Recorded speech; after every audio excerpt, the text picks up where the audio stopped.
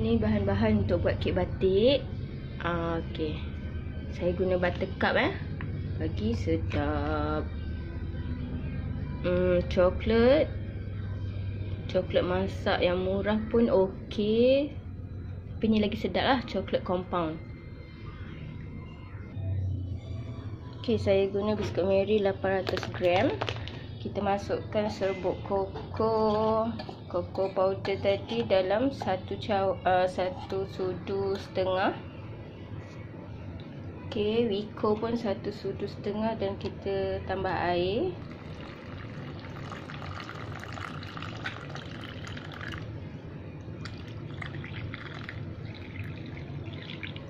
Agak-agaklah jangan sampai penuh air suam boleh, air biasa pun boleh. Kita kacau dia.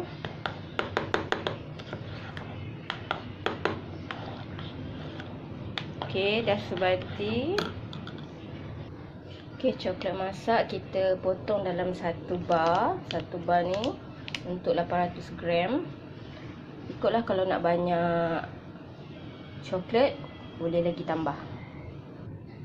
Okey, sementara nak potong coklat, kita buka api perlahan dan masukkan butter.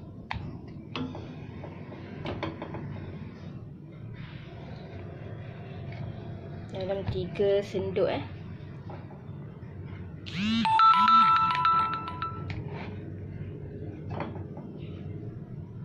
Okey buttercup lebih sikit je lagi sedap Okay, dan kita boleh potong coklat kecil-kecil supaya mudah nak cair. Jom kita potong dulu. Okay, kalau anda semua jenis yang baru nak belajar buat, eloklah sediakan dulu eh bahan-bahan dia supaya senang tak ada kelang kabut. Okay, uh, butter kita dah cair, boleh masukkan coklat.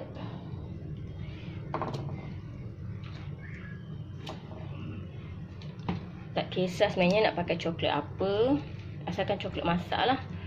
Ha, lepas tu dan biskut Mary pun tak kisah jenis apa sebenarnya. Okey, sementara dia cair, kita boleh patah-patahkan biskut Mary kita. Patah dua sahaja pun okey. Dan sebenarnya biskut batik ni saya dah pernah try. Saya suka yang lembut lah. Tak payah guna telur.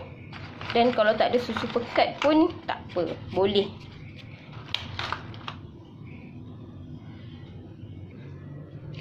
Okey, kita gaul. Kacau dia. Dah sebati eh. Dah sebati. Kita masukkan air tadi. Okey.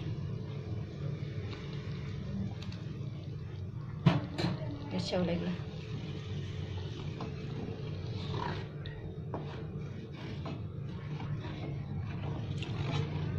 Kacau bagi bagi rata lah dah masuk dengan air tadi kan. Mudah je nak buat sebenarnya cuma rajin dengan malas je. Okey.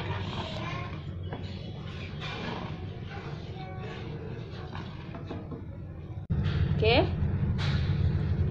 Ah, saya letak 3 sudu.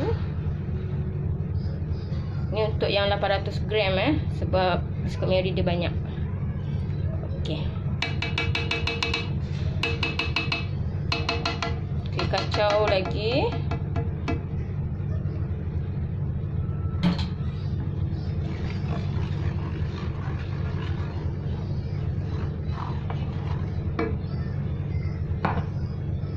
dah siap kacang perlu tambah sedikit um, garam kalau nak lah siapa yang nak tambah garam boleh tambah garam garam sikit je ok kita tambah garam sikit ha? lepas tu boleh masukkan biskut Mary Oh, terlupa saya gunakan kuali ataupun periuk ni. Yang tak mudah melekat. Jadi bila saya keluarkan biskut Mary ni nak masukkan dalam bekas untuk disejukkan, semua coklat-coklat ni aa, keluar tak ada yang tertinggal. Adalah sikit-sikit. Okey, kita masukkan biskut Mary.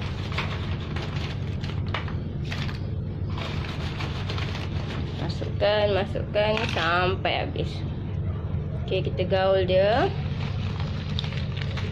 Gaul pelan-pelan eh.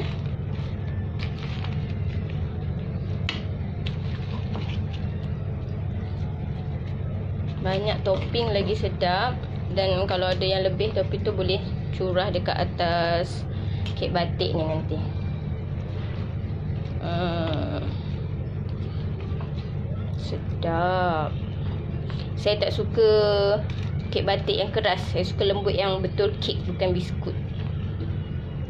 Ni saya nak buat jual sebenarnya. Okey. Dah siap gaul semua, dah agak rata. Lepas tu kita masukkan ataupun transferkan kat dalam loyang. Loyang tu mesti kita okey, lapik dengan kertas yang orang selalu balut nasi lemak tu. Kertas coklat tu. Biasanya orang lapik dengan plastik tapi plastik pun kadang-kadang melekat juga. Saya guna uh, kertas ni transferkan dia dalam loyang eh. Okey. Okey, tengok dia.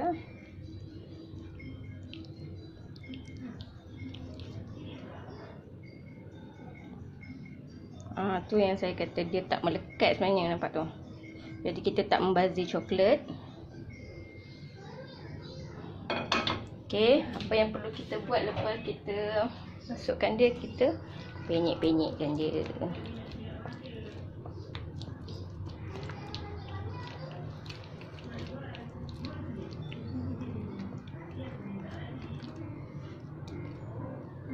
Biasanya coklat masak semua tu lagi murah kalau dekat kedai kek, kedai kedai yang khas lah kalau daripada kita beli kat pasar raya ke. Okey, penyek-penyekkan dia sampai dia mampat dan padat. Lepas tu kita boleh sesuai untuk jamuan anak-anak pun boleh. So, selamat mencuba. Okey, untuk kek batik yang saya buat tadi saya gunakan kuali daripada Cloken saya order di uh, Go Shop kalau tak salah. Go Shop. Ah yes. Ah dia ada tiga. Ini yang pertama tadi saya buat kek batik. Yang ni uh, kecil sikit. Okay, ni yang ketiga. Eh? Lepas tu saya dapat uh, saya dapat free gift. Dua lagi pen dan spatula chopstick. Memang tak melekat eh tengok ah yang saya sebenarnya boleh boleh kaut lagi dengan senduk. Ha tengok. Ha. Tak melekat. Okey, jadi membelilah di Go Shop.